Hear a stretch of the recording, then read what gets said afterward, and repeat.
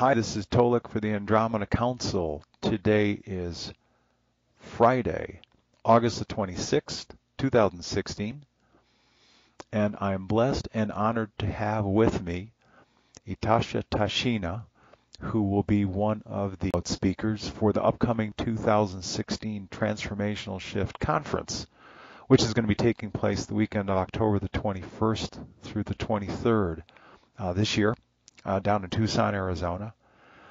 And uh, I'm going to be uh, introducing her and reading a bit of her bio. But before I do that, Tashina, how are you? How uh, how are you doing after that long walk across the country? Oh, very accelerated and very happy to be here with you and everyone else today, Tolec. Thank you.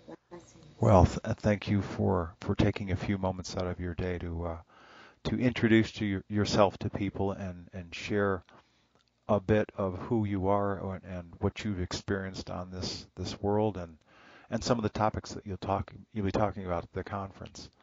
So as a, a bit of an introduction, uh, Itasha Tashina is a sun dancer and sacred pipe uh, chanupa holder. Her walk has been many years in sacred spaces, learning, teaching, and healing. Mount Shasta, the Dakotas, the Cascades, the White Mountains, the Blue Mountains have been her home. She's a history, anthropology, and Spanish teacher. Her most important beloved job is of a grandmother and mother. She has written and performed poetry, songs, and dances for Native Images at ASU in Arizona, is a healer and Azteca dancer, clairvoyant, and telepath. Since birth, Tashina has been trained by and interacted with star beings, angels, spiritual guides. She has deep Apache and Arcturian connections. Her life has been a gift. She says, it's a joy to be here in this world. And I think that's a, I think those closing words are, are a great introduction to you. Um, I certainly hear the, uh, the joy and the intelligence in, in your voice as we've talked and shared our, our mutual stories over, over a variety of phone calls as we've gotten to know each other. So I'll uh, I'll, I'll turn the session over to you and, and allow you to uh, share uh, some things about yourself and, and some of the topics that you'll be talking about, those things that are that are most important to you in your life these days. Blessings and greetings on behalf of all the star nations and all beings in the blessed sacred way. Thank you so much. Um, I'm very honored to be amongst you and to be able to be here in the world at this time. Uh, is this soul, the spirit's perception that this is a very sacred time for this planet and that it is a time when we all need to come together and even though we hear that said so often, um, at this time it is happening. And that is how I see my journey in this planetary system. Um, the title of what I'm going to be doing at the conference is basically the role of the star nations and their interactions with the people here and with the indigenous people and addressing the way that we are transitioning to new ways that are built up on old ways and the fact that they aren't really so very old because we've been practicing these ways often without being aware of it. A lot of people right now, they say they're awakening and yet it's more of a reawakening because deep in their souls they know who they are and when they see that reflected as we've spoken with each other in the eyes of another person and the soul of another person, they go, wait a minute, you're not so very different from mm. me. Or wait a minute, uh, that's my story, that's your story. And the truth is, it's our story. So we're making a big shift right now. This is what this shift is from the you versus me into the we. And, and that's what humanity here in this planetary system is experiencing. And it feels a little strange because it's almost like, will I lose myself in you? Will I lose the me and the essence of who I am? And the reality is that that very essence comes from the stars. We all came from the stars. And as we reawaken to that and that essence and that remembrance, it is a remembrance, it is a reawakening. It becomes for some very glorious, for others it's almost traumatic. Yeah. and so at this time, with the recognition that not everyone is experiencing these changes in the same way, um, helpers of all kinds are needed. And that's why the Star Nations are making such a visible, visible uh, appearance at this time. And that's why so many people are coming forth as healers. You've heard the term calling all angels. I would say at this time, calling all healers, calling all spiritual teachers. Hello, all of you out there. You are needed at this time more than ever. Well, as as the uh, as the Oyate, as the Lakota so appropriately say, Mitakuye Oyasin, which is, you know, began as all my relations, and I believe the contemporary meaning is we are all one. And as you indicated regarding your walk across this country, you heard and learned many stories about people sharing sharing their stories, their lives, and how in fact so many of those stories are similar. Yes, indeed. Um, I've returned from the longest walk five. I did not go to every single state. Um, some people did. Uh, most people did not. We went to states that we were able to walk through. Some of us ran, and then we convened at the Lincoln Memorial in Washington, D.C. in July.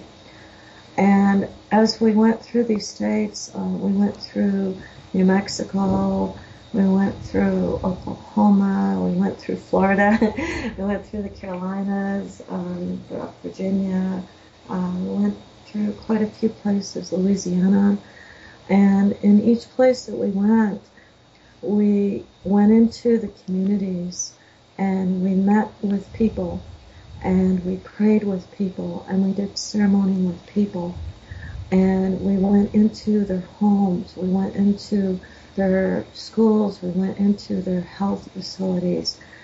We sat and we listened to them and many people cried mm. And they said, you know, we didn't think anybody cared. No one has ever listened to us. Uh. So the main thing that I came away from this walk with is we need to start sharing our stories. We need to start listening to people and to each other and realizing that this is part of the healing. This is part of how the healing goes. The old talk circles that we had, the healing circles, we need to get humanity talking. We need to bring this big worldwide circle of humanity together. And that's quite a task. So the way to do that is starting with the building of small circles and interconnecting these circles and realizing that each circle brings something to the larger circle. We each are different in some ways. We're all alike, yet we have a unique gift. So as each person realizes this unique gift that they bring to the circle, they can be proud, they can have dignity, they can have honor, and this is how the spirituality grows. I I would I believe that there was probably a lot of healing going on as these these circles were coming together as you traveled these different states. I, I can tell by the the the energy in your voice that it was uh, probably an incredible and sacred journey because of all the lives that you touched. It was incredibly sacred. It was amazing um, to see America, to see the people, to hug them, to touch them, to laugh with them, to eat with them, to cry with them. This is what it is about. As we are making this shift, if you will, into a multiverse or ascension, whatever anyone chooses to sure. call it. We, we all have so much knowledge and we have many of us much wisdom. The people that I met, the thousands of people, thousands, not one or two or hundred thousands, what everyone had in common was the desire to be with others.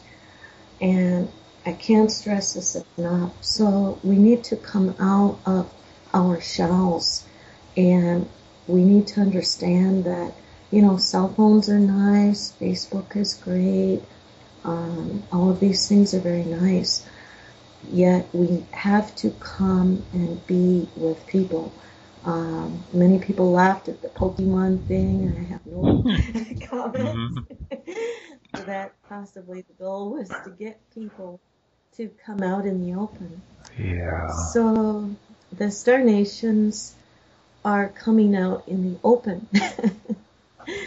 and we are doing it a lot with the indigenous people because they were the original caretakers. And I say that in the sense that the indigenous aboriginal peoples of this planet, they go all across this globe. You have the Sami, you have the Laplanders, you have the aboriginals in Australia, you have the indigenous people everywhere you go in Ireland and England, wherever these people are, they were entrusted with the star codes.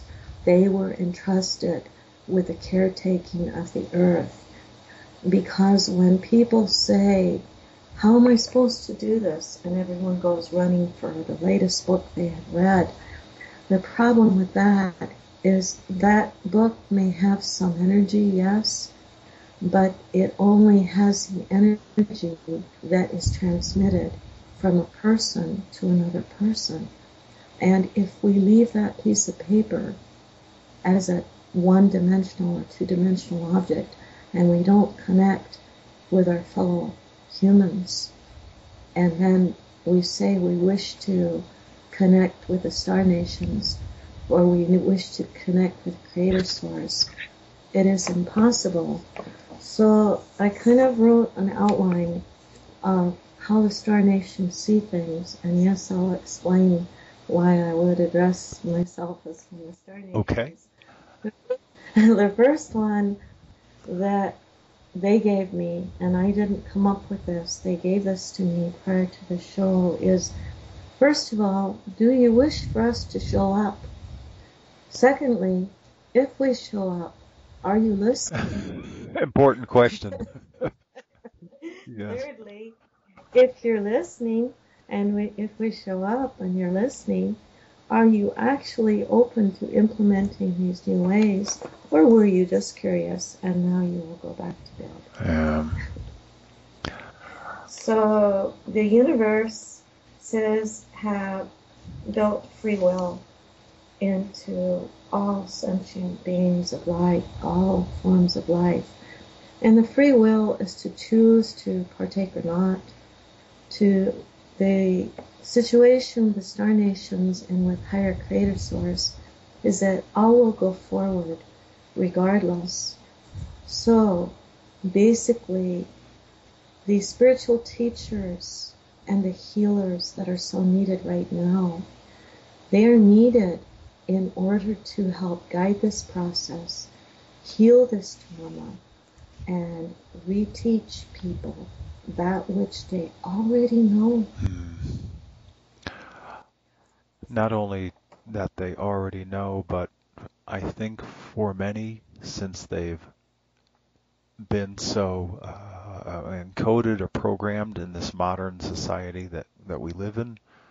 So many of them have forgotten that they are themselves sacred beings, that they themselves come from the stars, that they are uh, unique, individuated creations of of Wakan Tanka, of, of creation, of great mystery. Each one of us is an amazing light being. There are many blessings coming as people are beginning to heal, uh, beginning to, and I don't know if you, you touched on this, but you know, certainly an important element of, of the process of healing is people forgiving themselves. And that's yeah. that's something that I think sometimes people overlook. They go, "Oh, I need to forgive him or her, and I need to move on with my life." But if they don't forgive themselves, step one, there's always that residual pain that they carry. And that is so very true. Yeah on on the walk, uh, we dealt with dealing the trauma of domestic violence, oh. drug and alcohol abuse. And as we worked with people, we found that often the reason that people are, as you said, in so much pain is there's a shame. And sometimes it's almost a generational shame. Uh where they may not themselves have done something, but they carry that shame from someone else that might have done something. And we often take upon ourselves the pain of others and we carry that. And in the releasing of this pain, we have to be able to forgive others and also forgive ourselves and realize that we are not the cause of some of these pains. We might have inherited these pains. Oh, that that's a good point. Um, are you talking about inherited that these bodies, if you will, are inheriting yeah. the pains from other lifetimes?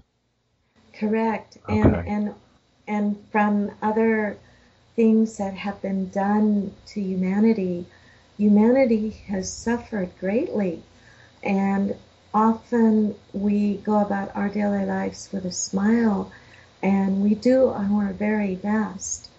And yet we do it within a world that is in pain. So it, it's almost an unconscious thing. It's like a tight shoe that you don't want to take off because you're not sure if you have another pair is good. yeah. So this garment that we wear, these bodies that we wear, this genetic coding that is a part of us, we need to heal this.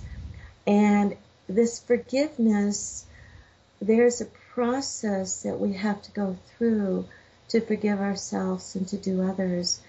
And it is a very deep type of a healing that goes to the very heart, the very essence of who we are. And many of the healers that are coming in are trained in the healing of the genetic coding of humanity.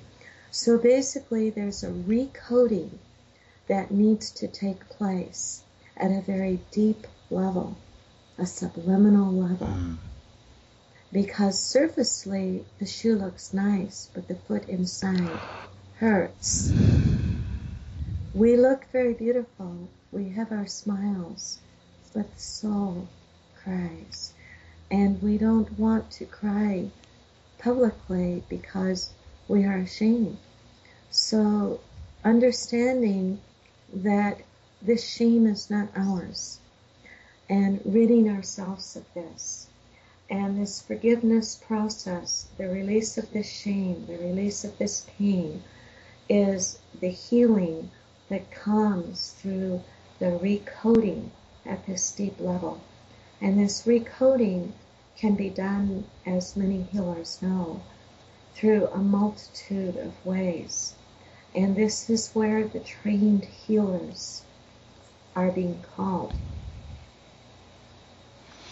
Would it be accurate to say that at some moment after a person is able to process, uh, release, transmute this pain that they've been carrying either for this lifetime or other lifetimes, that after that happens, that's when the ability to truly love self begins and and then of course love others? Absolutely and and and you you you hit right on the the topic loving ourselves and therefore having the ability to love others accepting ourselves as the beautiful beings of light that we are so we have the star nations that have come to assist in this. Uh, this is a very old story, as you know. Mm. Um, humanity has suffered for millennia, and there have been many things that have happened in this planetary system that caused this suffering. And yet, people did not know the stories. Many of the stories are now coming out into the open of how did we get to be who we are? How did this get passed on from generation to generation? How did we live the lie? How did we become so traumatized? How do we now go forward? So we have this teachable moment in, in this reawakening process, and we have all of the guides, all of the angels, all of the archangels, all of the old code carriers, if you will. We have the indigenous people, the aboriginal people of this planet stepping forward, carrying their gifts, their bundles, their ceremonies, their songs, and gifting them. And we have the star nations coming, riding on the skies, if you will, on the clouds, yes. with many, many, many messages. And oh dear, my computer might shut off, and I'm trying to get it to not do this. it's okay. I I will do my best to keep this page open. Um, so basically, for myself and for many of us, uh, I am here as a messenger. I am here as an ambassador, and I carry these codes and have come at this time to assist in this healing process and to give this information. And as my dear friend Bear Cloud said when someone asked, How would you say who she is? And he looked at me and he said, She is a bridge from her world to ours. And that is why I am here, to be a bridge from the star nations to my family here in this world at this time, in this place. Wow. So very well said. Um, I can tell you as I travel this country, and uh, as I mentioned, I'm in Colorado right now. Um, met people recently last night, 35 some odd people, and when I told them of this conference that's coming up in Tucson, when I mentioned your name I saw many eyes light up with recognition and joy. really, knowing knowing that that you, um, someone who is truly a, a star person of Arcturian and Apache heritage, that you would be coming to speak and share share your knowledge at this conference. There were a lot of happy and excited people. Um, so I, I, I'm, I'm sharing this with you to let you know that your your work your name and your work has, has been recognized, even in the smallest of circles, and that's that's a good thing. And so I, uh, from my side, I feel blessed that you'll be joining us at this conference. So, th- so thank you. Oh, you're welcome. Honor and gratitude. And um, if you could see me now, I I have a smile and and um, it's kind of funny because I do sunburn and I do blush and I think I'm blushing. Thank you. Won't be laughing. you are you are very welcome. Well, this is this has been a uh, a, a wonderful mm, teaser, if you will, to let people uh, sort of peek behind uh, the curtain and into the life of uh, Tashina and all of the ways that she's able to touch the people.